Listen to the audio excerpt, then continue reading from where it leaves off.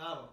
Pred nami je druga gibalna naloga. Kakor v prvi smo jo pripravili v obliki družabne igre. Igra se imenuje Judo trening za kartami. Natančno si preberite priložena navodila in upam, da boste uživali. In ne pozabite, nismo leni v karanteni. Se vidimo! Thank you.